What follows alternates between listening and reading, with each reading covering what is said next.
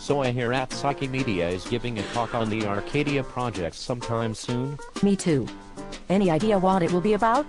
Well the Arcadia Fellowships are 10-week sabbaticals with the Cambridge University Library, funded by the Arcadia Fund, so I guess it will be about his time doing that. I think I read about that on the OUseful.Info blog.